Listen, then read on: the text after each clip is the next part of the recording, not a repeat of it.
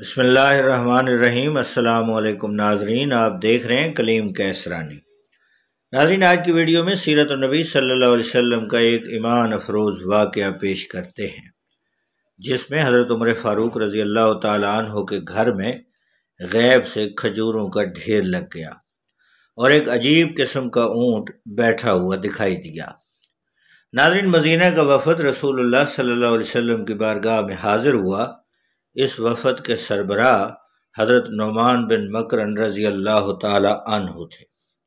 वो कहते हैं कि हमारे कबीले के चार सौ आदमी हुजूर सल्लल्लाहु अलैहि की खिदमत अकदस में हाजिर हुए और जब हम लोग अपने घरों को वापस होने लगे तो आप सल्लल्लाहु अलैहि ने फरमाया कि अय उमर, तुम इन लोगों को कुछ तोहफ़ा इनायत करो। हज़रत उमर रज़ी अल्लाह अर्ज़ की, या रसूल अल्लाह सल्लल्लाहु मेरे घर में बहुत ही थोड़ी सी खजूरें हैं। ये लोग इतने कलील तोहफ़ा से शायद खुश न होंगे। आप सल्लल्लाहु अलैहि वसल्लम ने फिर यही इरशाद फरमाया, क्या उमर, जाओ इन लोगों को ज़रूर कुछ तोहफ़ा अता करो। इरशाद नबी सल्लल्लाहु अलैहि वसल्लम सुनकर हज़रत उमर रज़ी अल्लाह तहो उन चार सौ आदमियों को हमरा लेकर अपने मकान पर पहुँचे। पहुँचे तो ये देखकर हैरान रह गए कि मकान में खजूरों का एक बहुत ही बड़ा तोदा पड़ा हुआ है। ऐसे लगता था जैसे खाकस्तरी रंग का मोटा ताज़ा ऊँट बैठा हुआ हो।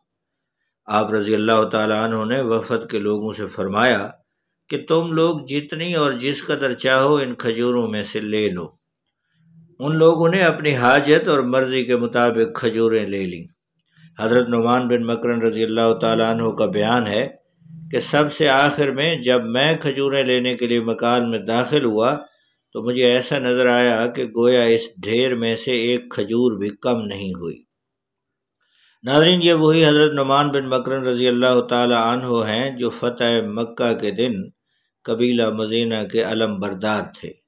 ये अपने सात भाइयों के साथ हिजरत करके मदीना आए थे।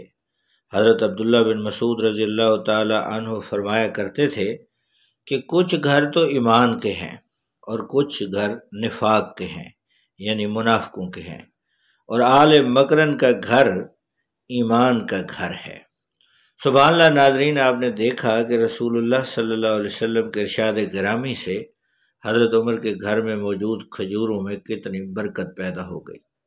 नाजरीन, सीरत नबी सल्लल्लाहु अलैहि वसल्लम के हवाले से ये था, आज का वाक़ नए दोस्तों से गुजारिश है कि सीरत नबी के वाक़ात को जानने के लिए हमारे इस चैनल को सब्सक्राइब करें, बेल आइकॉन को प्रेस करें। बहुत शुक्रिया। अल्लाह हाफिज़।